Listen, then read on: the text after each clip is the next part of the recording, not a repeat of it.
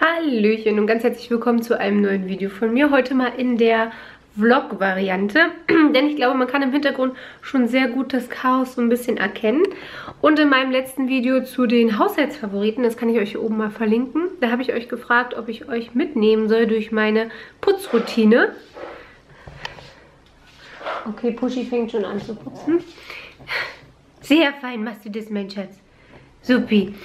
Und da heute Freitag ist und ich freitags immer meinen kompletten Haushalt auf Vordermann bringe, dachte ich mir, ich schmeiß die Kamera an und filme euch das ein bisschen. Ich habe mir was Bequemes angezogen, die Haare zusammengebunden und ja, dann geht es jetzt quasi los. Einkaufen waren wir schon, den Einkauf habe ich ausgepackt und wir waren auch auf dem Markt und haben frische Sachen vom Markt gekauft und ja, dann werde ich die Kamera gleich aufstellen und dann machen wir gemeinsam unseren also meinen Haushalt machen wir heute mal gemeinsam. Das gehört jetzt zwar nicht zum Video, aber ich muss euch das unbedingt zeigen. Ich habe richtig schöne Blumen auf dem Markt gekauft. Und Obst und Gemüse haben wir mitgenommen. Und natürlich hier in solchen Säckchen. Die gibt es übrigens günstig ähm, bei Lidl. Die kosten 49 Cent und da sind zwei so eine Säckchen drin. Und weil der Dame vom Markt was umgeplumpst ist, also so ein, wie nennt sich das? So ein Tischchen, wo sie einfach ihr Obst drauf hatte, äh, hat sie, also das ist umgeplumpst und Benjamin hat ihr geholfen, das alles wieder aufzusuchen, aufzurappeln und dann hat sie uns noch zwei Orangen mitgegeben als Dankeschön und sie hat sich gefühlt hundertmal dafür bedankt, dass Benjamin ihr geholfen hat. Ja, das wollte ich euch nur kurz zeigen. Ach so, und bevor man fragt, also Benjamin hat natürlich hier auch sein Aufgabengebiet, das ist die Küche, aber da ich am Freitag immer alleine putze und ich halt meinen eigenen Standard habe, möchte ich auch nicht, dass da Benjamin irgendwie irgendwo putzt. Deswegen mache ich einmal die Woche das auch alleine. Selbstständig, ansonsten macht Benjamin immer die Küche und hilft mir natürlich und greift mir unter die Arme, aber einmal die Woche. Hallo Fokus, mache ich es einfach selbst, weil er das nicht so gut kann wie ich. Deswegen mache ich es allein. So, ehrlicherweise muss ich gestehen, dass ich nicht wirklich ein System habe, wo ich anfange. Ich fange eigentlich immer im größten Raum an. Und das wäre quasi Wohnzimmer bzw. Küche. Ich zeige euch gleich mal das ganze Chaos. Es ist natürlich jetzt äh, ein bisschen äh, chaotischer, als es sonst wäre, weil gestern war Feiertag und da haben Benjamin und ich mal nichts gemacht. Ich war dann noch drüben bei meiner Mama und einfach mal alle Viere von sich gestreckt. Deswegen äh, sieht es jetzt gerade ein bisschen chaotisch aus. Aber ich bin mal so ehrlich und so frei und zeige euch das mal. Ja, wahrscheinlich wird das jetzt so richtig, richtig schlimm. Also passt auf. Hier unten steht mein Mülleimer, den habe ich nämlich einmal ausgewaschen. Da kommen jetzt gleich neue Mülltüten rein. Da steht noch der Müll ähm, vom, vom Markt. Der kommt gleich weg. Die Säckchen, die wollte ich nämlich auch mal in die Wäsche machen. Hier sind noch die Tomaten drin. Aber schaut mal, wie schön die Obstschale aussieht. Das sieht richtig, richtig lecker aus. So, hier unten liegt lauter Katzenfutter rum, aber das sieht immer so aus. Also das mache ich wirklich jeden Tag da sauber und es sieht trotzdem so aus. Dann haben wir hier die Wäsche, die muss ich auf jeden Fall abnehmen. Und jetzt kommen wir zum schlimmsten Raum. Äh, also Raum nicht, aber ähm, Bereich. Oh Gott. Schaut euch bitte die Küche an. Das ist Chaos pur. Hier liegen noch Sachen vom Einkauf rum, Katzenfutter. Ja, es ist eine Katastrophe. Um einen Raum kümmere ich mich übrigens nicht. Den werdet ihr hier nicht sehen. Das ist das Zimmer von Benjamin, das Arbeitszimmer. Da gehe ich nicht rein, das ist sein eigenes Reich. Äh, das hält da alleine sauber, nenne ich es jetzt einfach mal. Also ich gehe da wirklich nicht rein, das macht er alles selbst. Also fangen wir erstmal an, einen groben Überblick uns zu verschaffen und alles so ein bisschen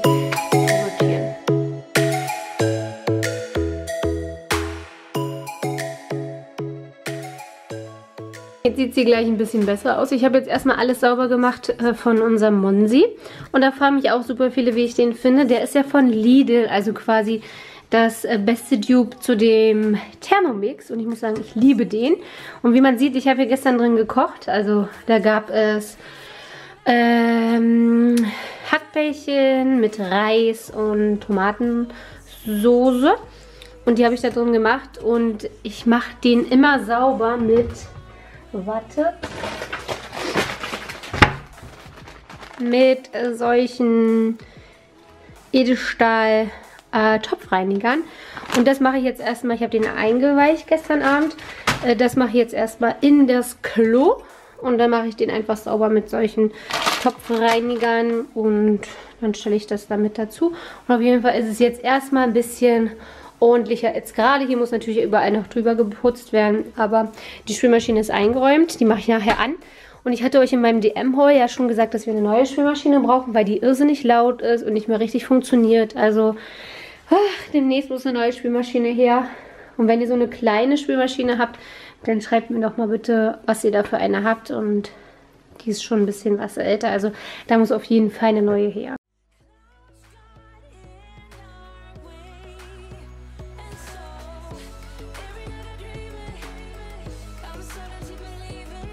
Sowas hier gehört übrigens auch zu meinen täglichen Aufgaben. Wie so eine richtige Mutti muss ich immer das Spielzeug zusammensuchen. Von den Katzen, genau. Und dann wandert natürlich dieser Spielebogen, der wird einmal komplett durchs Wohnzimmer geschleudert. Und auch das Tippi. Das muss ich nachher aber zusammenstecken, weil das schaffe ich jetzt hier mit einer Hand nicht so. Ähm oh, Schatzi, mach das! Wenn ich sowas finde, kann ich euch das unten in der Infobox mal verlinken, wenn ich dran denke. Nee, Schatzi kann das nicht. Ja, was denn? Ist doch richtig so? Ja. Das sieht aber komisch aus, Schatz. Ja, ich bin doch noch nicht fertig. Hör mal. Wir hängen immer so Decken oder ähm, Laken immer so über die Türen. Natürlich sieht das jetzt nicht so schön aus, aber wenn ich weiß, dass heute oder morgen niemand hier zu uns nach Hause kommt, dann hänge ich das einfach hier rüber. Weil ansonsten ist ja so ein ganzer Wäscheständer schon damit äh, belegt. Das habt ihr vielleicht in den einen oder anderen Vlog schon mal gesehen. Das hängt bei mir immer über den Türen. Auch da hinten hängt eine Decke. Das nehme ich jetzt alles gleich ab und dann sieht es auch wieder gleich ganz anders aus. Ich habe noch nicht gewischt und noch nicht ähm, Staub oder so weggemacht, aber ein bisschen zusammengeräumt und es ist gleich viel ordentlicher.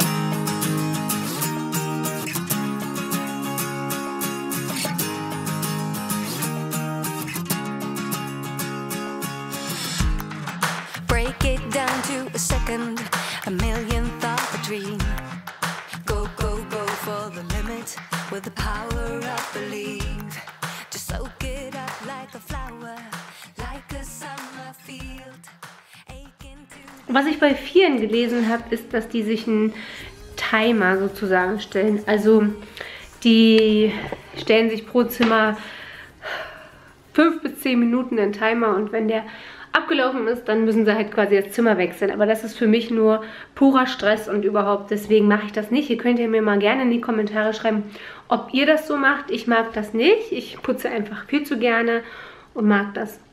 deswegen äh, mache ich einfach so, wie ich es gern möchte. Auf jeden Fall räume ich erstmal grob alles zusammen, räume erstmal alles auf. Das habe ich jetzt auch hier gemacht.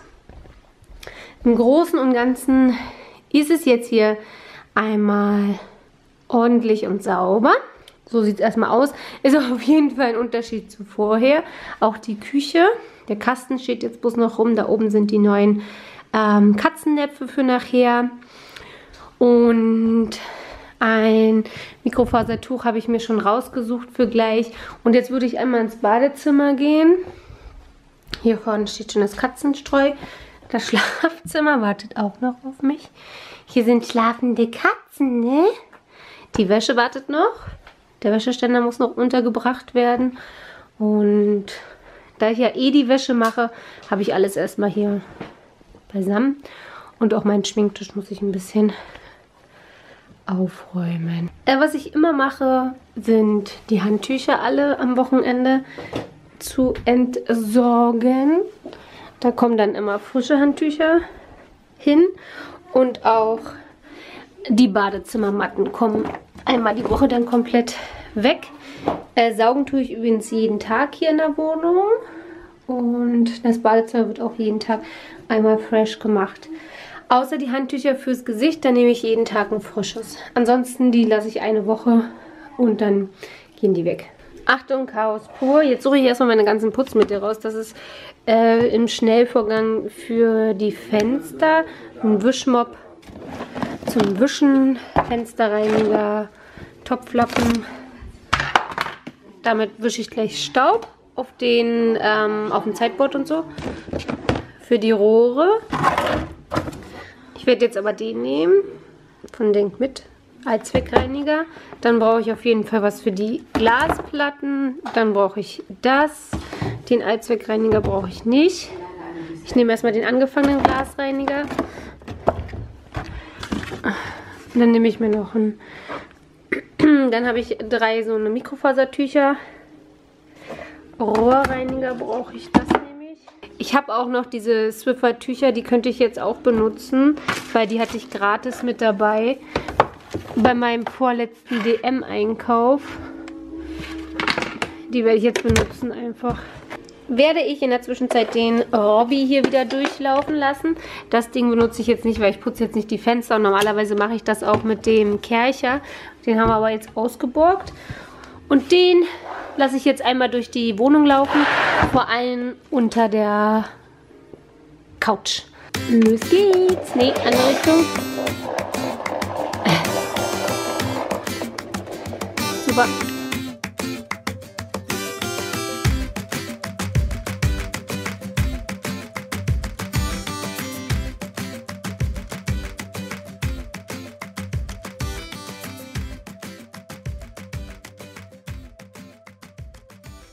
Ich habe jetzt mal den Zwiffer genommen, den ich, wie gesagt, kostenlos dabei hatte bei der letzten DM-Bestellung. Und normalerweise nehme ich den, der ist von Kick. Und den kann man halt waschen und immer wieder benutzen. Aber ihr habt gesagt, man braucht den bloß ausschütteln und dann kann man den auch zwei, dreimal benutzen. Und weil ich gerade im Wohnzimmer bin, ich werde immer gefragt, woher der Teppich ist. Den verlinke ich euch unten in der Infobox. Der ist von Ebay sehr, sehr günstig. Den habe ich auch im Flur. Im Flur und ich glaube bei Benjamin im Zimmer ist der auch noch. Im Schlafzimmer habe ich andere, aber die sind äh, von Ebay. Der Tisch, der ist von Ikea. Die Couch, die ist von Porter. Ähm, der Esstisch, der ist glaube ich von Möbelboss, sowie die Stühle. Und meine ganzen Bilder sind von Desinio. Und das ist übrigens unser neues Bild. Das habe ich erst vor kurzem bestellt und mal ganz außergewöhnlich mit einem weißen Rahmen, weil, wie ihr seht, die anderen Bilder, die sind alle mit einem schwarzen und der ist mit einem weißen Rahmen und das Bild hat auch eine ganz, ganz besondere Bedeutung für uns. Deswegen auch ein Löwe und hat einen sehr, sehr schönen Platz, wie ich finde. Wie gesagt, eine sehr, sehr persönliche und schöne Bedeutung hat dieses Bild und ich habe auch aktuell einen Rabattcode für euch, den kann ich euch mal einblenden und auch in der Infobox verlinken. Freundlicherweise hat Desinio mir den zur Verfügung gestellt und wenn ihr auch noch Bilder sucht, dann schaut auf jeden Fall mal vorbei. Und ich habe zur Abwechslung auch mal meiner Mama neue Bilder bestellt. Die kann ich euch mal einblenden. Die hat sich ganz andere Bilder ausgesucht und hat sich gefreut wie ein Cola-Keks. Haben wir ihr Wohnzimmer auch ein bisschen auf Vordermann gebracht weil ich mir, wie gesagt, ein neues Bild für hier bestellt hatte und dann hatte ich drei Bilder für meine Mama mitbestellt und da ist ihr das Herz aufgegangen und mir natürlich auch. Also ich verlinke euch alles unten in der Infobox und diese kleinen Pionkels, die ich da dran habe, wo so kleine Teelichter drin sind, die kann ich jetzt auch mit der Fernbedienung anmachen. Die sind auch von Ebay, aber die gibt es auch bei Wish, aber da dauert der Versand ewig. Kann ich euch auch mal unten verlinken. Ich hoffe, ich vergesse das nicht.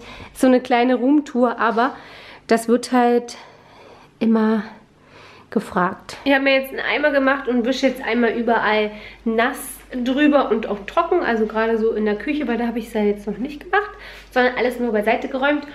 Und das muss ich euch ja nicht filmen. Also einfach mit Allzweckreiniger gehe ich jetzt einmal kurz überall über die Flächen drüber. So, das Badezimmer ist jetzt auch einmal ready. Die Oberflächen sind geputzt. Das Klo an sich putze ich ja immer mit einem Zewa. Das kommt gleich weg. Und die anderen Oberflächen halt mit einem Mikrofasertuch. Jetzt werde ich gleich noch saugen und wischen. Aber das muss ich ja in den anderen Räumen auch. Hier ist es quasi am ordentlichsten. Hier ist alles ordentlich. Hier werde ich bloß noch mit dem Staubwedel drüber gehen.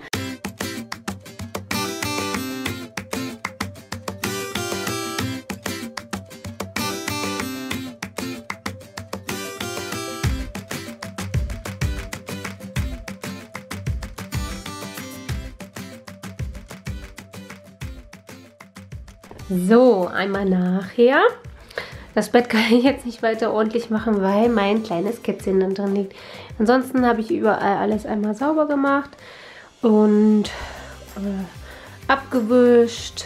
Ja, das sieht leider so aus, wie es aussieht. Hier ist noch ein Verlosungspaket, das muss man wegschicken. Hier unten sind meine Zahnschienen, das ist aufgebraucht. Deswegen sieht das nicht immer ganz so fresh aus. Aber ich muss sagen, ich finde diesen Staubwege mega, mega gut.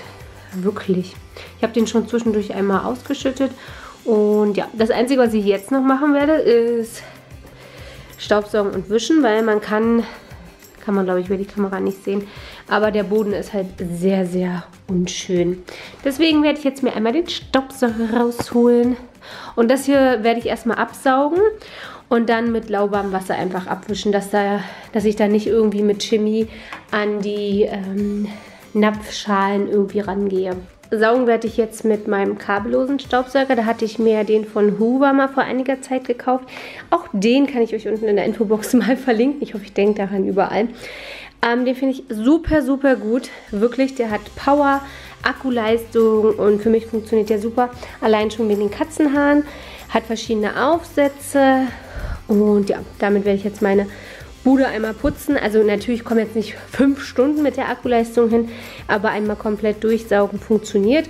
Und weswegen wir uns außerdem noch für einen kabellosen entschieden haben, einfach um auch den Balkon äh, zu saugen, ohne dass ich überall immer umstecken muss. Ja, und da steht der Robby, den werde ich auch gleich noch sauber machen, weil da hängt auch einiges an Scheiße auf jeden Fall dran. So sieht der aus.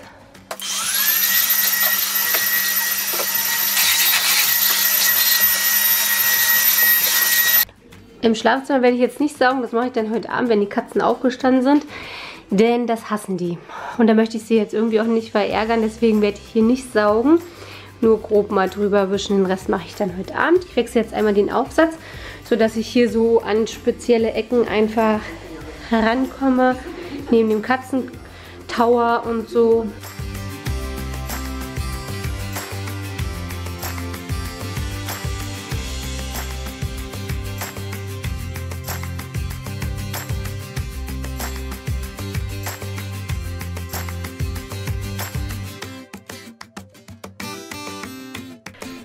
Einmal alles fertig. Mittlerweile sind zweieinhalb Stunden vergangen. Ich habe jetzt alles picobello in Ordnung gebracht. Man hätte natürlich hier und da noch ein bisschen mehr machen können.